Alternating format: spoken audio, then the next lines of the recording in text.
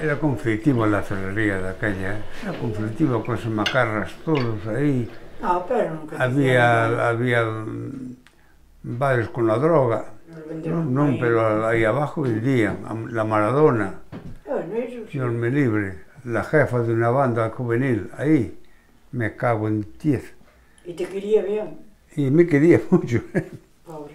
Debía tener unos... Murieron de, tenía, de chavales de, de 20 que, años que Ten... eran guapos, eh?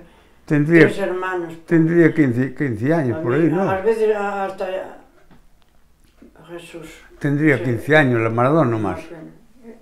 20, 17. Eh, um, aquí no paraba. Había a Maradona aí, unha banda juvenil, que eran uns 5 ou 6, e se cando se metían comigo, porque eran, eran malos os chavales, entraban allí, era unha, unha banda mala.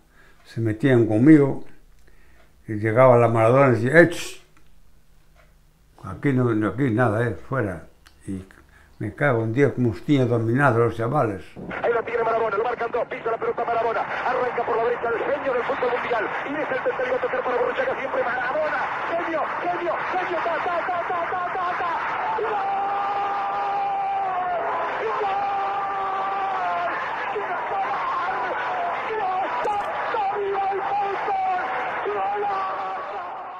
Sí, e había algunos maiús que hai.